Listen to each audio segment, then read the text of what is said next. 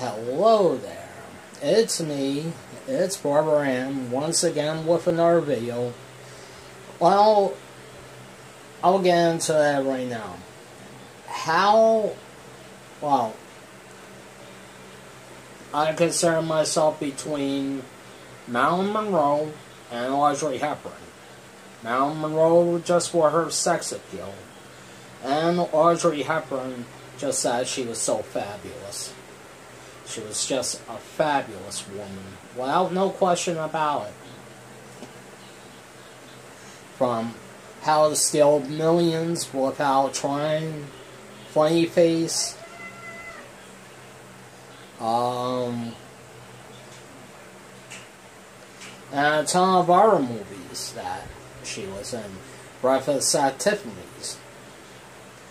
But, you know, the, the movie I consider Audrey Hepburn's most fabulous movie will, will have to be How to Steal Millions Without Trying and Funny Face, which was two fabulous movies that she was in. And Marilyn Monroe, The Seven Year Itch, Gentlemen Prefer Blondes, the General and the Showgirl. Now, you might have seen photographs of Marilyn Monroe wearing a dress similar to this, with opera gloves on, and some of the, the photographs that's online.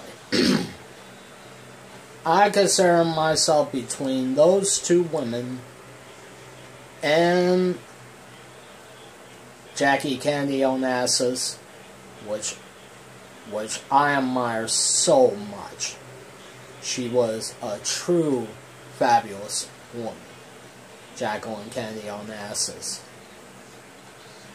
Alright guys, that's it for this video. I would like to say thank you very much for watching this video. And please, like always, like, comment, subscribe. And until next time, this is Barbara Ann, signing off for now. I know.